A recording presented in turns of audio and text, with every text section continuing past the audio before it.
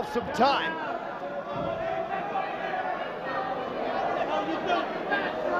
Where the hell is he going? What in the hell is Shane Douglas doing on the top turnbuckle? Is he lost? Oh my God!